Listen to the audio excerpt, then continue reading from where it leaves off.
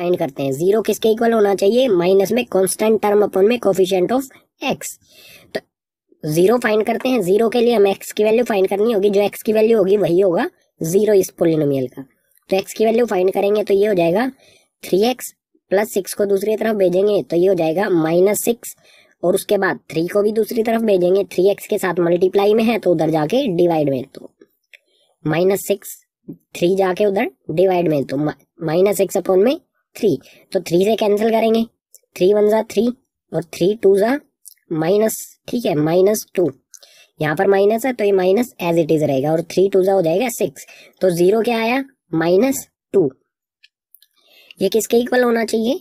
Minus B by ए यानी कि minus में कांस्टेंट टर्म कांस्टेंट टर्म क्या है यहाँ पर? सिक्स तो ये इसको हम लिखेंगे माइनस में, ठीक है, क्योंकि माइनस साइन जो है वो पहले से ही लगा हुआ है. तो माइनस में सिक्स अपॉन में कोफिशियंट ऑफ़ एक्स एक्स का कोफिशियंट क्या है यहाँ पर? एक्स का कोफिशियंट है थ्री तो माइनस सिक्स अपॉन में थ्री इसे हम कैंसिल आउट करेंगे। तो बिल्कुल सेम आएगा। थ्री वन जा थ्री और थ्री टू जा सिक्स ठीक है? माइनस जो साइन है माइनस सिक्स के साथ है तो माइनस टू तो यहाँ पर भी माइनस टू है और यहाँ पर भी माइनस टू है। तो यही रिलेशन होता है लीनियर पोलिनोमियल के जीरोज और इसके कोफिशियंट में। ठीक है? अब देखते हैं क्वाड्रेटिक पोलिनोमियल के जीरोस और इसके कोफिशेंट में क्या रिलेशन होता है। तो क्वाड्रेटिक पोलिनोमियल जिसका जनरल फॉर्मेशन कुछ इस तरह से होती है ए एक्स स्क्वायर प्लस में बी एक्स प्लस में सी इक्वल्स टू ज़ीरो जहाँ पर ए बी और सी ये कोफिशेंट है और एक्स जो है वो वेरिएबल है और सी को हम कॉन्स्टेंट टर्म कह सकते हैं, क्योंकि इसके साथ कोई भी वेरिएबल नहीं है। ठीक है? तो इसका, इसके दो ज़ीरो आएँगे क्योंकि डिग्री दो है, ठीक है? अगर डिग्री एक होगी तो एक ज़ीरो आएगा, अगर डिग्री दो है तो दो ज़ीरो आएँगे तो क्वाड्रेटिक पोलिनोमियल की डिग्री होती है टू तो इसके दो ज़ीरो आएँगे और वो दो ज़ीरो जो होंगे, अगर हम उनका सम करेंगे, या फिर कह सकते हैं उन्हें जोड़ेंगे तो सम ऑफ़ जीरोज उन दोनों जीरोज को जोड़ेंगे तो वो किसके इक्वल होगा? माइनस में कोफिशियंट ऑफ़ एक्स अपॉन में coefficient of x square minus coefficient of x क्या है? एक्स का कोफिशियंट है बी तो हम इसे, इसे लिखेंगे माइनस में बी अपॉन में coefficient of x square x square का कोफिशियंट है तो सम ऑफ़ जीरोज किसके इक्वल होगा? माइनस बी बाई ए के इक्वल होगा। ठीक है? इसी तरह से प्रोडक्ट ऑफ़ जीरोज अगर हम उन जीरोज का प्रोडक्ट यानी कि उन जीरोज को मल्टीप्लाई करेंगे तो वो किसके इक्वल होगा? कांस्टेंट टर्म अपॉन में coefficient of x square constant term यहाँ पर क्या है? सी और एक्स स्क्वायर का कोफिशिएंट क्या है? ए तो हम कह सकते हैं सी बाई ए प्रोडक्ट जो होगा जीरोज का वो होगा सी बाई ए ठीक है? ये रिलेशन होता है क्वाड्रेटिक पोलिनोमियल्स के लिए। अब जो ये जीरोज आए हैं, इनका एक एग्ज़ाम्पल देख लेते हैं इनको वेरीफाई करने के लिए।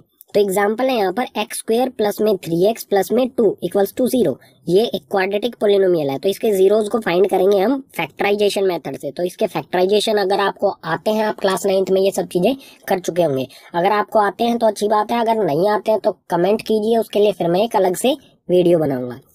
तो इसके फैक्टर्स करेंगे, इसके फैक्टर्स कुछ इस तरह से होंगे। एक्स स्क्वेयर प्लस में x plus two x plus two ठीक है? तो पहले जो है एक्स स्क्वेयर प्लस एक्स इसमें से हम कॉमन लेंगे। कॉमन यहाँ से क्या आ रहा है? एक्स तो ये आ जाएगा एक्स प्लस में वन और उसके बाद क्या है? टू एक्स प्लस टू तो इसमें से हम क्या कॉमन ले सकते हैं? इसमें से कॉमन ले सकते हैं हम टू तो ब्रैकेट में आएगा एक्स प्लस में वन तो इसके फैक्टर्स क्या हो गए? इसके फैक्टर्स हो गए एक्स प्लस वन और एक्स प्लस में टू तो फैक्टर्स हो गए एक्स प्लस में वन और एक्स प्लस में टू और इन्हीं फैक्टर से हम जीरोज निकालेंगे, ठीक है? जीरोज का मतलब क्या होता है? एक्स की वैल्यू तो एक्स की वैल्यू यहाँ से क्या आएगी? एक्स प्लस में वन इक्वल्स टू ज़ीरो तो एक्स की वैल्यू क्या आएगी? माइनस प्लस वन को दूसरी तरफ़ भेजेंगे तो ये हो जाएगा माइनस वन और इसी तरह से x plus two x plus two equals to zero तो एक्स के अलावा जो भी है उसको दूसरी तरफ़ भेजेंगे, यानी कि प्लस टू को दूसरी तरफ़ भेजेंगे तो ये हो जाएगा माइनस टू तो दो जीरोज जो आए हैं क्वाड्रेटिक पोलिनोमियल के, वो है माइनस वन और माइनस टू अब इसे वेरीफाई करते हैं, जो भी ये रिलेशन दे रखा है सम ऑफ़ जीरोज और प्रोडक्ट ऑफ़ जीरोज तो सम ऑफ़ जीरोज क्या होता है? माइनस बी बाई ए तो सम माइनस वन प्लस में माइनस टू तो सम करेंगे इनका माइनस वन प्लस में माइनस टू। अगर इनका सम करेंगे तो किसके इक्वल होना चाहिए? माइनस बी बाई ए, यानी कि कोफिशियंट ऑफ़ एक्स एक्स का कोफिशियंट क्या है यहाँ पर? थ्री तो यहाँ पर माइनस कोफिशियंट ऑफ़ एक्स है। तो माइनस थ्री लिखेंगे इसे, ठीक है? माइनस थ्री अपॉन में coefficient of x square x square का कोफिशियंट क्या है यहाँ पर? कुछ भी नहीं है तो वन होगा, ठीक है? तो वन और डिनोमिनेटर में वन लिखने की ज़रूरत नहीं है तो minus one plus minus minus. तो minus one, minus two equals to minus three denominator में वन लिखने की ज़रूरत नहीं है। तो ये भी माइनस का, ये भी माइनस का है तो ये दोनों प्लस के हो जाएँगे और साइन रहेगा माइनस का ही। तो minus three equals to minus three ये सम ऑफ़ जीरोज वाला जो कॉन्सेप्ट है, ये वाला जो रिलेशन है, ये तो हो गया यहाँ पर वेरीफाई क्योंकि दोनों इक्वल आ रहे हैं। अब देख लेते हैं प्रोडक्ट ऑफ़ जीरोज का रिलेशन प्रोडक्ट ऑफ़ जीरोस यानी कि मल्टीप्लाई तो माइनस वन मल्टीप्लाई में माइनस टू तो माइनस वन मल्टीप्लाई में माइनस टू ये किसके इक्वल होना चाहिए? कॉन्स्टेंट टर्म यानी कि सी अपॉन में कोफिशियंट ऑफ़ एक्स स्क्वायर यानी कि ए मतलब सी बाई ए तो कॉन्स्टेंट टर्म है यहाँ पर टू तो इसकी किसके इक्वल होगा? टू अपॉन में एक्स स्क्वायर का कोफिशियंट यानी कि ए एक्स स्क्वायर का कोफिशियंट है वन और डिनोमिनेटर में लिखने की ज़रूरत नहीं होती है।